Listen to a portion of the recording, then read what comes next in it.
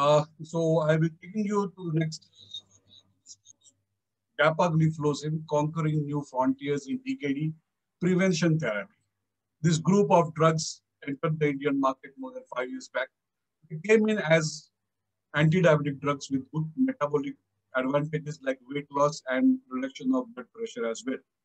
Good A1C reduction and can be combined with any group of drugs because it is insulin independent action. So you can combine with oral drugs, you can combine with insulin, beautiful anti-diabetic drugs added benefits of weight loss and BP benefit. So really, um, as far as diabetes is concerned, these drugs in the first couple of years when they entered the market, they changed the scenario where diabetes could be managed in addition to weight loss. This was something really very important because we did not have effective weight loss therapies uh, before. So this was an advantage the patients got in addition to sugar control, the good weight loss as well with uh, the SGLT inhibitor, especially dapagliflozin. So let's start with this patient of ours. He is a prototype patient. Is only for educational purpose. He is having a, a worsening kidney function. He's 55 years old, diabetes 5 years, on anti-diabetic drugs. It's a triple combination of SE, MET, and DPP4 inhibitor at full doses. He's got hypertension, dyslipidemia, so basically typical metabolic syndrome. He's not yet got a CV event or heart failure. He's taking standard hypertension and lipid lowering drugs. So it's a high intensity statin, which is indicated for all patients of diabetes by most, most world authorities, whether it is a ESC or the, whether it is a, the um, AHA, they really recommend very high intensity statins for, for patients with type 2 diabetes. Already on ACE inhibitor, CCB as per guidelines. So he's on basic background therapy for hypertension and and uh, standard background therapy for hypertension and is and for dyslipidemia is on triple drug anti-diabetic therapy. His A1C is not bad. You see his here his A1C is not very bad. His A1C is not very bad. It's about it's just about 6.8. However, see his GFR, 6, 6 mm. So he's already got into got into stage 2 CKD and his UACR is 800. So that's really macroalbuminuria. You know, 0 to 30 is normal, 30 to 300 is microalbuminuria, and 800 is macroalbuminuria, almost reaching a gram of albuminuria. So he typically has diabetes only. He's done 55 years of age. Has diabetes only for five years, along with comorbidities, hypertension, dyslipidemia, already on good background therapy. A1C not bad, but look at his GFR, which should be at least over 90 for his age of 55, is already dropped to about 66 and his albuminuria is huge. So really this patient is a really very high risk for, for kidney progression, for also for, for cardio, cardiovascular disease. Since his last eight months visit, he's, he's gained about 2 kgs weight, his GFR is dropped by about 5 ml. So, and his USR is gone up by 20%. So he's progressing. See, the rate of fall of GFR by age is about 1 ml per, per minute per year. Here we is dropping about 5. So that's really, and this is very, very, um, a, a very, very difficult thing in India. The rate of progression of CKD in India is much higher than what is seen in the Western population. In Western population, people would progress by about 2 to 4 ml per minute uh, worsening of GFR every year. In India, we are seeing our patients get down by 5 to 10 ml per minute per year. That's really bad because you see, if it gets down by 5 ml, even if you say this conservative figure of 5 ml per minute, in the next 10 years, he's, he's going to go on dialysis. He's at 66 per minute. In 10 years, he comes to ESRD, uh, uh CKD stage 5, less than 15 GFR, and he would re typically require dialysis. So something really urgently needs to be done in this gentleman is high renal risk, high cardiovascular risk. We are going to see that a little while from now.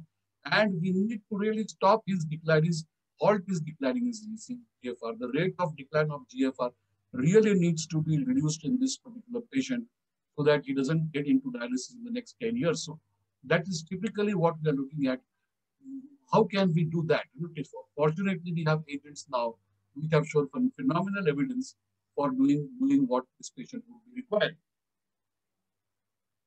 Right. So when you when you when you basically diagnose CKD, you have the two classifications: the A on the x-axis and the y-axis. You are seeing the, the the stage of the of the kidney CKD. So basically G1, GFR more than 90, then mild CKD. Our patient has typically 66 GFR, gets into G2. And then, but however, if we drop 5 ml per minute, is going to drop in the next couple of years to stage 3A or the next few years to stage 3B and is going to progress to CKD stage 5, uh, G5, and that would require your indication for getting into dialysis. So typically our patients is over here. And this albuminuria is then again classified as A1, which, which is normal to micro, normal albuminuria, microalbuminuria, and macroalbuminuria. The patient is here. So if you just chart our patient on the on both axes and he is right over here, he's on A3G2. So this patient is A3G2. Also, we need to see his etiology. So clearly, is this she seems to be having a diabetic kidney disease. Of course, one needs to rule out non-diabetic kidney disease in all patients, especially when proteinuria is not very large and if retina is normal. Those are the indicators that it may be a non-diabetic kidney disease. So we really need to rule out other causes as well. However, diabetic kidney disease, more than 50% of patients on dialysis in our country, for that matter, in every part of the world, the etiology of the CKD is diabetes. So clearly, other differential diagnoses have to be kept in mind. Diabetes is the forerunner, is the is the front runner actually.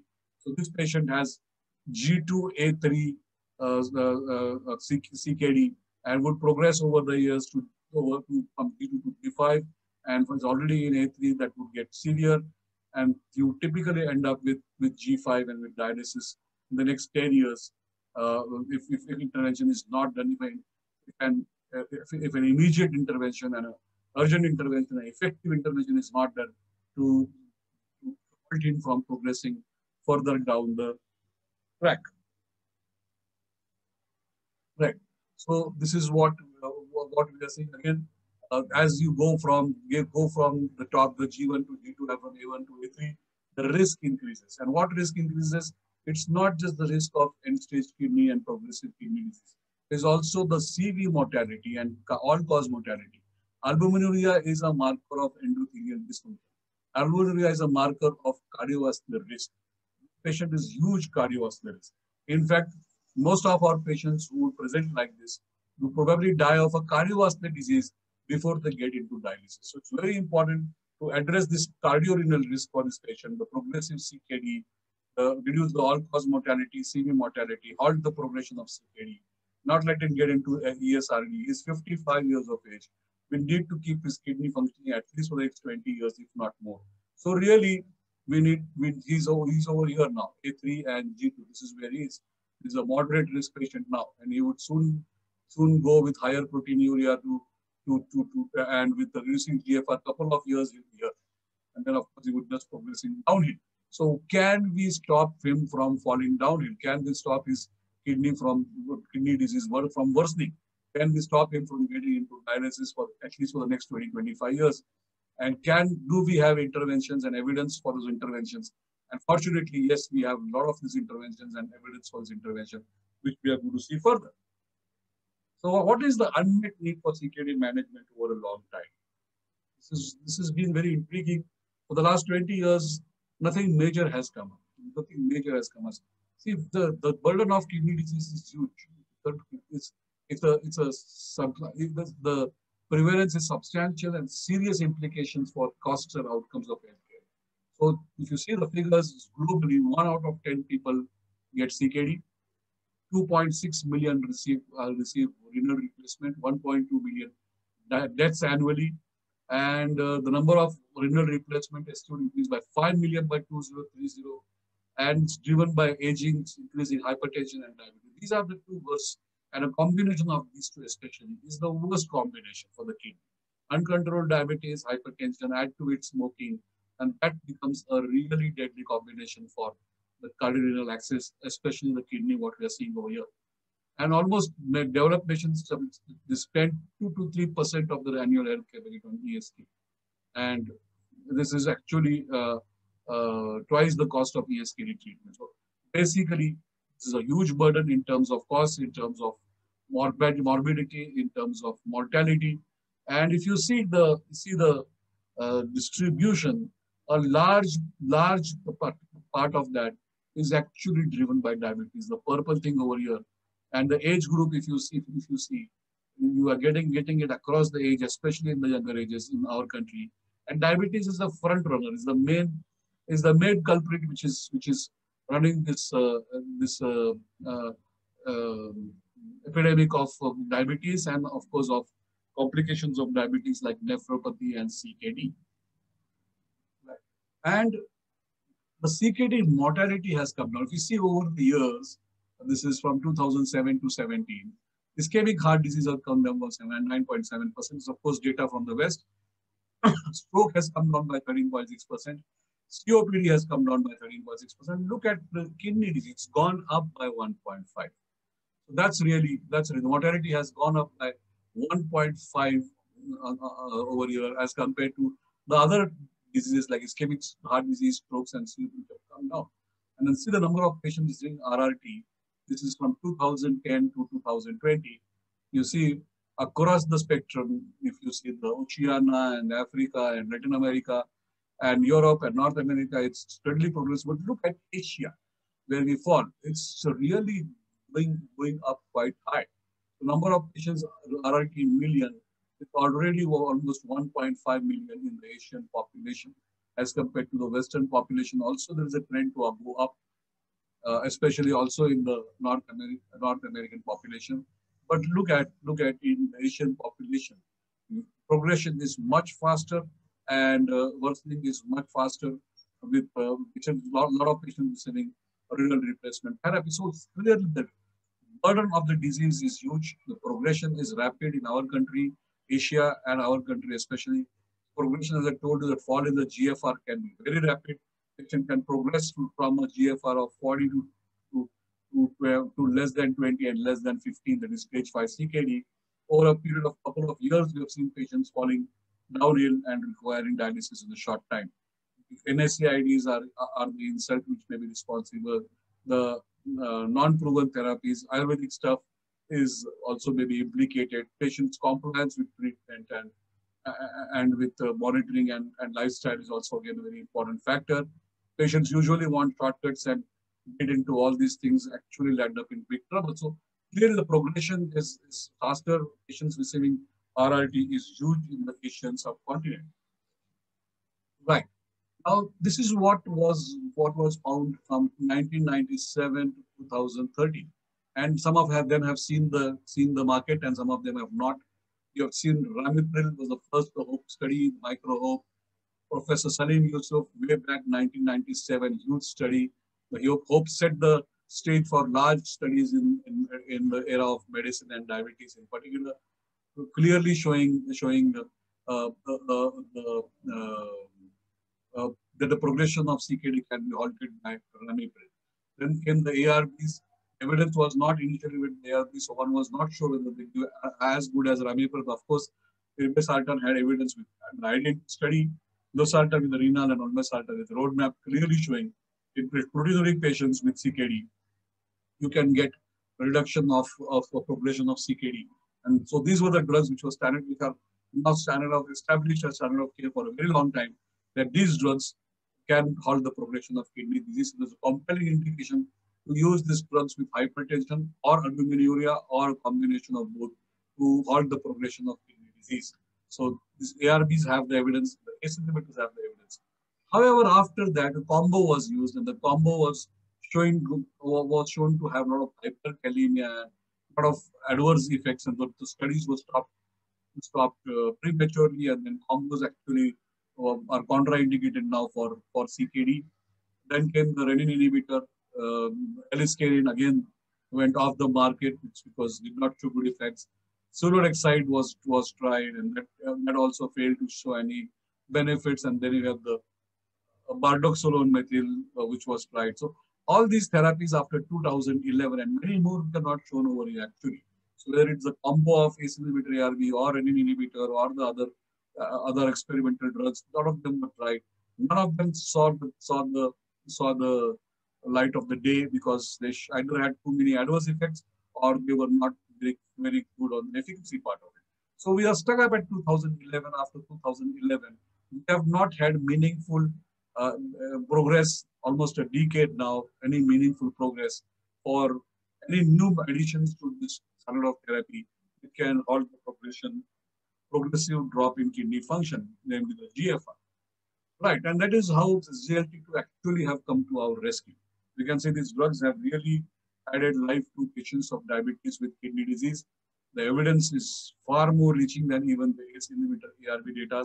Dedic dedicated studies for, for dapagliflozin available, the DAPA CKD study, which we are going to uh, also upon. And the CVOT outcome studies of SGLT2 inhibitors showed good renal benefits. Dedicated studies available with dapagliflozin and canagliflozin have shown very good benefits for this for this group of drug, drugs as far as the kidney is concerned. And there may be a lot of lot of so basically one has to understand that this anti-diabetic effect of the drug is dependent on GFR. So basically for a good anti-diabetic effect, weight loss, you and A1C control, you require a good GFR of about 60, you get good benefits. Up to 45, you get modest benefits. And really after that, you don't get any much diabetic, anti-diabetic effect. Below 30, you would not get any meaningful A1C reduction. However, the cardiorenal benefits of these drugs, namely heart failure, the pump and the filter, the kidney, the pump and the filter, this drug group of drugs in, in general and dapagliflozin in particular, which has now a dedicated heart failure study, pump failure study, the DAPA-HF study, which is published, huge immense benefit in diabetes as well as non-diabetes population. The DAPA CKD study with kidney with, with really lower kidney function showing again good benefits in the diabetic and even non-diabetic populations. One has to understand that these drugs, these, these benefits to the heart and kidney are different from the anti-hyper, uh, from the anti-diabetic effect of which really does not depend on the GFR. This cardiorenal benefits, and we are truly talking basically of the renal benefits, are seen even with GFR below 45. In fact, the latest KDIGO guidelines say that you can continue the drug, you cannot start the drug uh, above 45. You can continue it up to 30, and you can continue it to up to dialysis Do not start below 30. They say do not start below 30. Your patient is already on the drug. For the renal benefits, you can continue to the drug till the end point of dialysis. And this data has come from the DAPA CKD study. The DAPA CKD study had enrolled patients with the GFR as low as 25.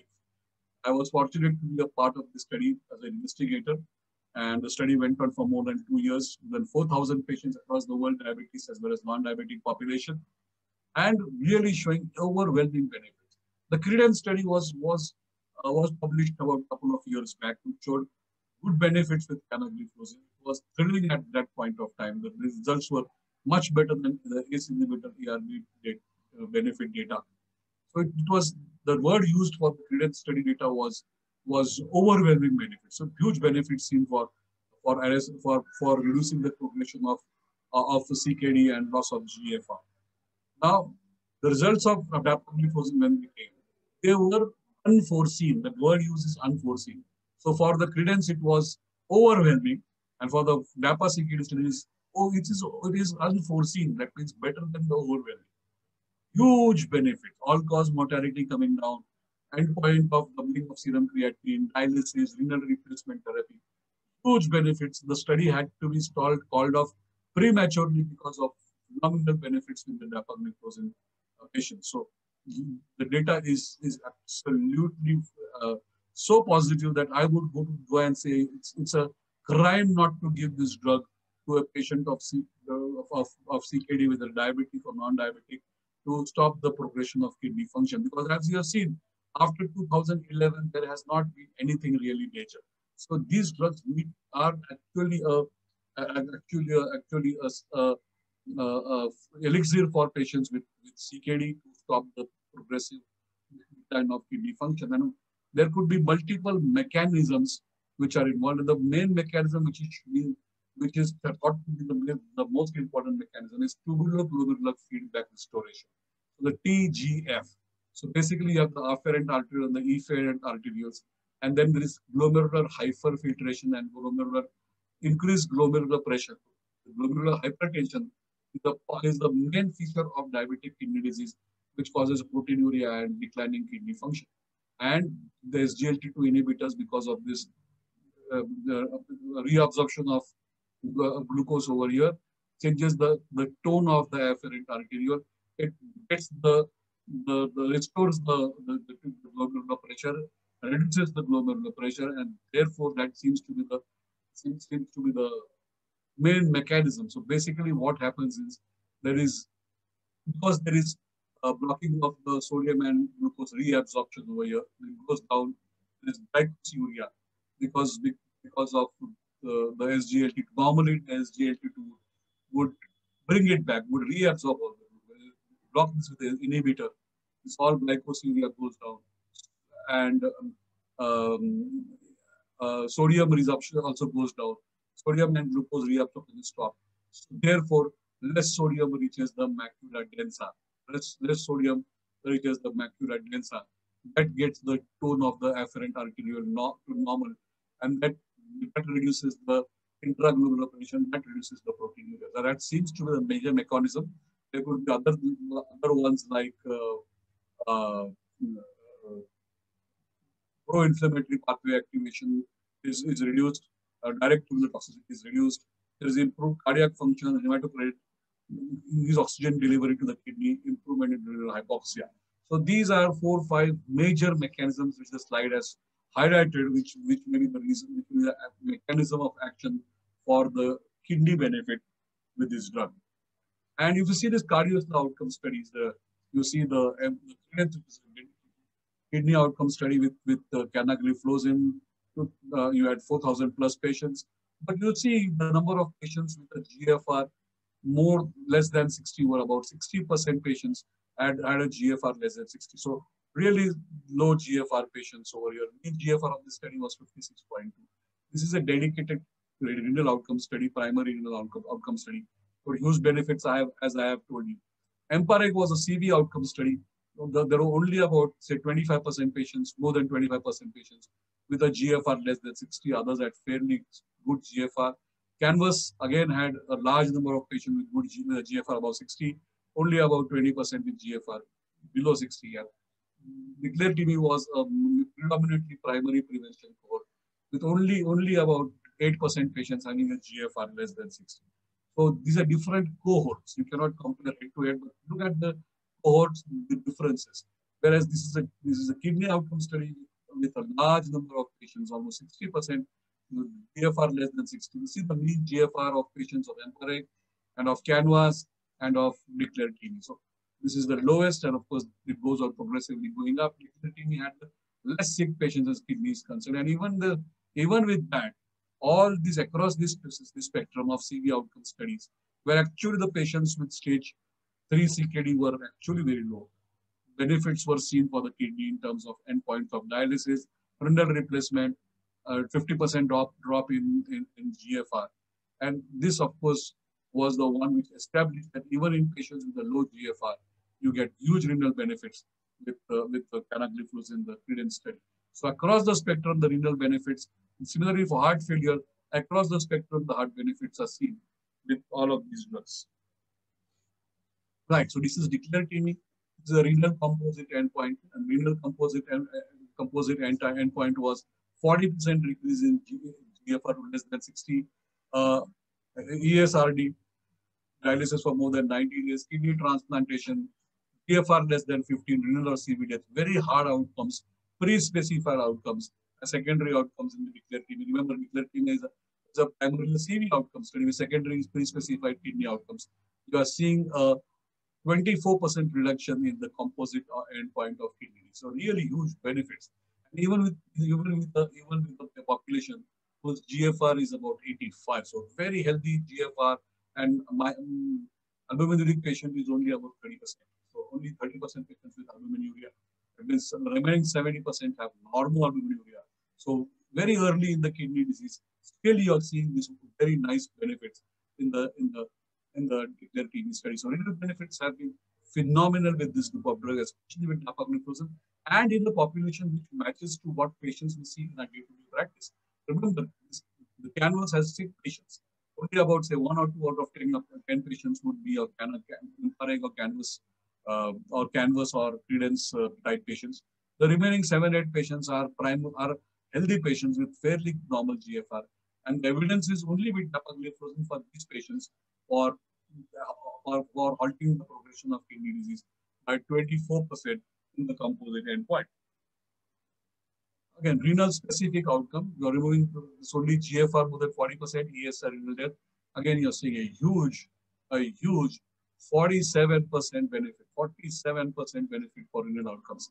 So that is data is, is, is overwhelming. It is overwhelming.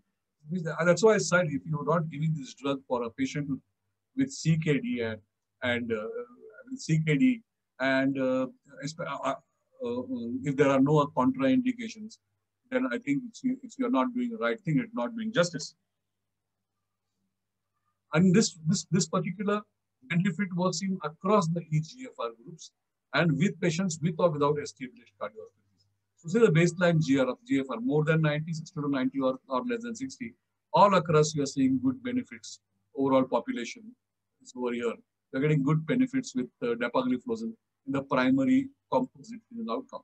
And again, the primary composite renal outcome in patients, overall populations with established disease or without established disease.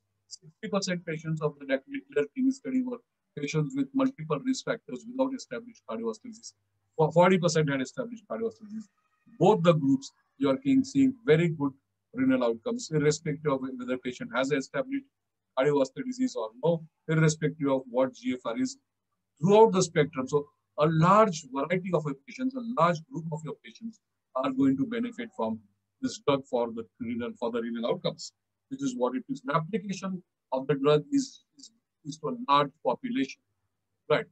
Now, across the baseline CV risk and EGFR categories, whether patient had established disease or CV disease or only risk factors, whether he had heart failure or no at baseline, whether he had hypertension no at this baseline, whether this GFR was what. We have seen some of this data in the previous slide. Across the spectrum, you are seeing huge benefits for dapagliflozin uh, over here. So as I told you, large number of patients, whether they have established CVD or no, whether they have heart failure or no, whether they have hypertension or no, whether they are falling in which GFR category of GFR, across the spectrum, dapagliflozin is giving you positive renal benefits. Now, across the UACR, we have seen the previous data across UACR, HbA1c, and medicine categories. So it doesn't depend what what their normal normoalbuminuria or microalbuminuria or macroalbuminuria. Doesn't depend whether they are less than seven, seven to eight, eight to nine, or more than nine. Doesn't matter if you are an ACE inhibitor or ARB or no, or whether diuretic or no. Across the spectrum, again you are seeing benefits across the spectrum. So irrespective of the baseline GFR, the albuminuria, the use of ACE inhibitor ARB, that's really important because a lot of our patients get hyperkalemia with these drugs, and one has to withdraw these drugs for hyperkalemia. So that this, so even in those patients who are not in hyperkalemia or with ACE inhibitor, you get with, with the drugs you get added benefit. Even without the drugs you get benefit. So those patients really benefit if you dapagliflozin for kidney protection. Right.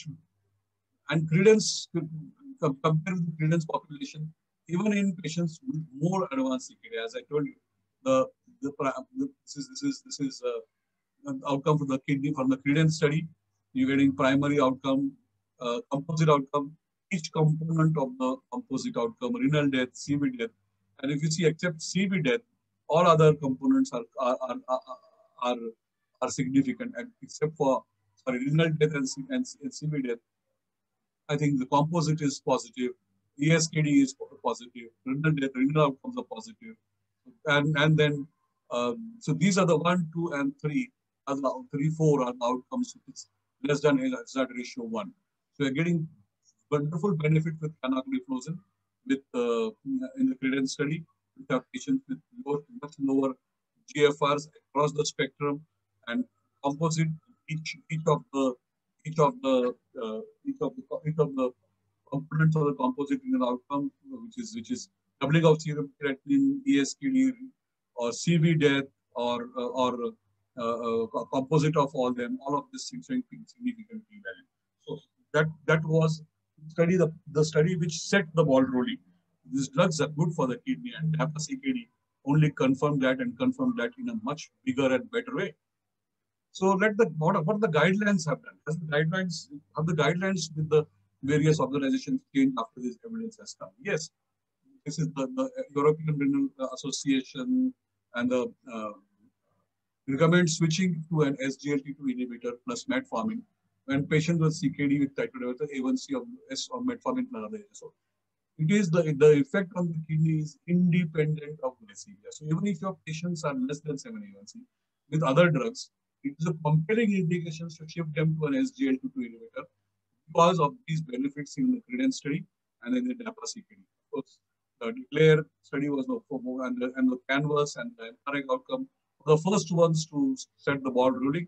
But these dedicated studies have meant that in patients with T2Ds, DM, CKD, not at goal, you that is the the the the, the, the, the uh, CKD is defined as a GFR less than 60, and microalbuminuria or macroalbuminuria even if the GFR more than 60. So the patient not at goal, definitely has GLT2 inhibitor. If is still at goal, SGLT is not, uh, then you, but not SGLT2 is not tolerated or controlled, then use a GLP But here, even if your patient is on less than seven, it is a compelling indication to switch from the other agent to SGLT2 inhibitor and use GLP if your SGLT is, is not tolerated. So, but to both the drugs have evidence for kidney, the GLP as SGLT2, but the GLP evidence is much, much lower, uh, lesser as compared to the SGLT2. Injectable drugs, the GLP costly, cost, cost is a huge issue, injectable is an issue. Oral drug, dapagliflozin, really can, can uh, uh, be used for, for kidney protection, even with the baseline A1C less than 7%. So those are, that is how the how the guidelines are, are, are uh, have changed. This is how the guidelines have changed. The European Dialysis and Transplant Association and the European uh, Renal Association. So this is ASN. Hmm? This is American Society of Nephrology. And again, here they're saying if your patient has DKD, diabetic kidney disease, you a macroalbuminuria, SGLT2 inhibitor. The GFR is more than 30, SGLT2 less than 30, maybe a GLP receptor. High risk of HHF, SGLT2 inhibitor. Cardiovascular risk, either one of them. So for MACE benefits, you can use either of them. For heart failure and for the renal benefits, SGLT2 inhibitors are the one which has massive benefits for, for heart failure, pump failure and the filter, pump and the filter. For the pipes, the atherosclerosis, either one of them have evidence, but as far as the pump and the, and the filter, the main evidence is with the SGLT2 inhibitor. That is that is preferred over uh, over the GLP-1. So you can risk the score for heart failure, and the score you just add up the points. The score is more than equal to two then SGLT2, high risk of heart failure. SGLT2 inhibitor becomes the drug of choice over and above the GLP-1 uh, agonist. So clearly for heart failure, clearly for renal disease progression, we've seen the data in the previous slides. Huge benefit with dapagliflozin to halt the progression of. And this is what the KDIGO says, and that really that's really very interesting. The patients with with with uh, diabetes and CKD, of course, my, of course, uh, lifestyle intervention, and of course, metformin. If your GFR comes below 45, reduce dose. If less than 30, you stop metformin or risk of lactic acidosis. Here, if the patient is on 30, do not start the SGLT, but you continue up to dialysis. That's really important. That's because the DAPA CKD involved patient up to 25 uh, GFR. And as investigators being a part of the study, we were encouraged to continue the drug for the patient till the patient reached, reached the end point of dialysis, which we did. And therefore, this KDIGO has given this recommendation algorithm that you can continue it up to dialysis. An additional drug if required, and of course, we have the GLP-1 or the DPP-4 or of course the insulin, other anti-diabetic drugs. But clearly, patients with CKD, now SGLT2 inhibitor like like dapagliflozin is what the KDIGO strongly advises and continue up to dialysis. That's again a very very bold uh, recommendation in the algorithm. So I think uh, we have come to the end of that presentation for dapagliflozin and kidney disease. And uh, I thank the organizers for this opportunity to for this talk. And uh, that is it from my side.